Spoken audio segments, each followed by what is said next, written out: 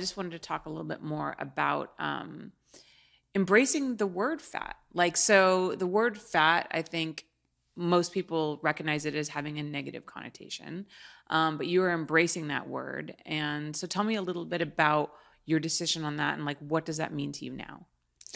Okay. Um. So, I, I, going back to the the book, the the project that eventually became the published book, Fat Girl.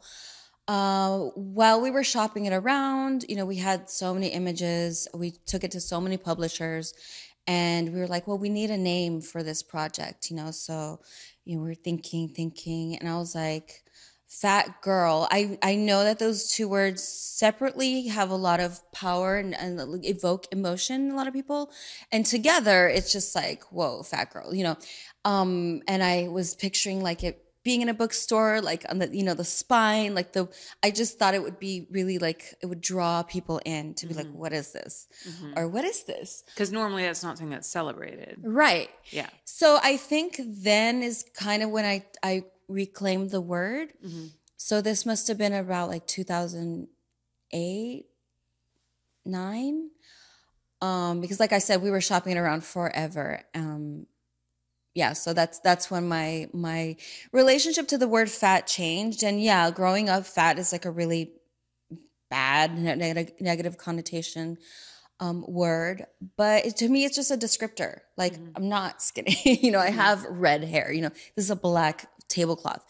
Um so it's um you know words only carry power if you let them and if someone wants to put me down that's whatever. That's that's about them. It's not about me. Yeah that, that's so true. People's judgment of you reflects so so much more about them than yes. it does about you. And and and you're right.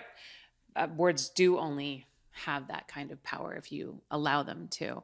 Did you ever feel like how was it growing up? Did you feel ashamed when you grew up? And did you ever feel like when you first started in the adult industry, did you ever feel like the pressure to like lose weight and change your body or were you always staunchly like comfortable in your skin? No no um so no I, i've never felt pressure in this industry to lose weight. Sometimes you know weight fluctuates and sometimes mm-hmm. when i lose some weight people are like you're getting too skinny. Um also comments about other people's bodies not cool. But um no growing up yeah i i had lots of body shame um, I idealized a skinny body, um, like I think a lot of people did and still do. Um, it wasn't until I was like in my early 20s. So my weight was fluctuating all the time. In my early 20s, I was in like a few really bad relationships. So I stopped eating. You know, I was um, broke, going to college, you know, so I just, I lost a lot of weight and I was, you know, perceptive to people around me, just how different everyone was treating me. And um, at the same time, I met this guy who was like, he was always happy. And I was just like, why is he so happy? Like, what's going on? So I talked to him and he was like, happiness is a choice. Like, you have to like choose every day to be happy. This isn't my philosophy back then, early 20s. Like, I, I feel I would have like a little discussion with my 22 year old self as like my 45 year old self. But, um, back then I was like, oh shit, it's like in my head. So as I started to slowly gain weight, people around me were like freaking out. And I was just like, you know what? I'm not gonna base my happiness on um, my weight because even when I was skinny, I was just like, damn, I still have all the same problems. I just have my body's different, but I'm still having like these, my life didn't become instantly easier. Mm-hmm. So all these things happened concurrently. And I was just like, okay, well, I'm going to be try to be happy with just how I am. It's crazy, right? When we, I, I think of the same things. When I was in high school, I was like, you know, significantly lighter than I am now, and I remember thinking I was fat then, and thinking I had big thighs then, and then before I had a baby, I thought I was heavy, and I was I'm ten pounds heavier now, and I thought I was fat then.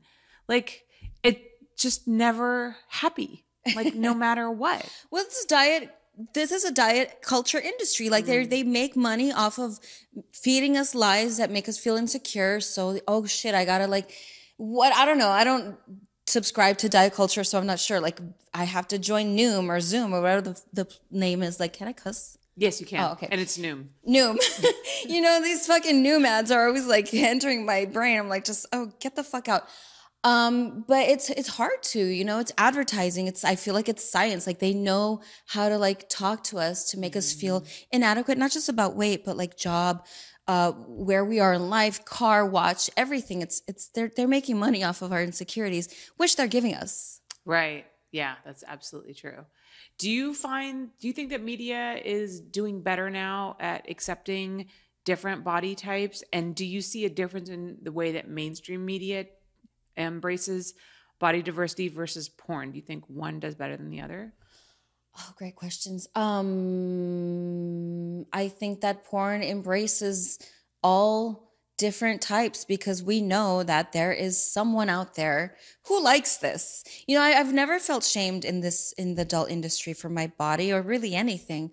I feel like there's people know there's a value um, to diversity um, your first question was super good, but I don't remember. And I have a bad habit of asking a couple of questions all at once, and I gotta stop that. it's good. Sorry. Um, yeah. Do you think that media has um, come oh, a long way yes. from back, say, in the early 2000s? Yeah, I feel like they have shifted a little bit, but I, I'm not going to credit media. I'm going to credit social media, which is really driving change for all different aspects of like humanity, not just, you know, like fatness.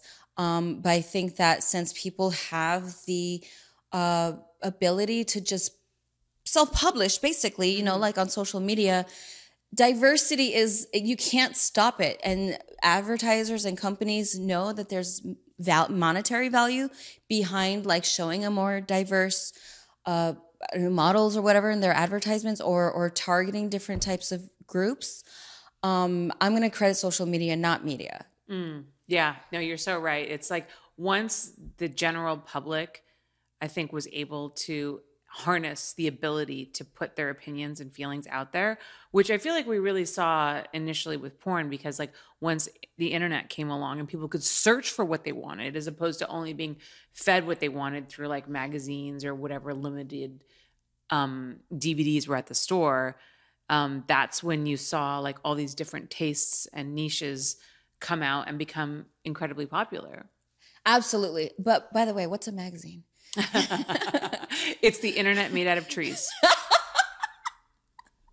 I miss magazines. I know, right? It's uh I a huge chunk of my income was from magazines at one point and it is no longer the case. Though I do sell um the av- layout like every once in a while, but it's like man, the the price that is paid is drastically less. yeah.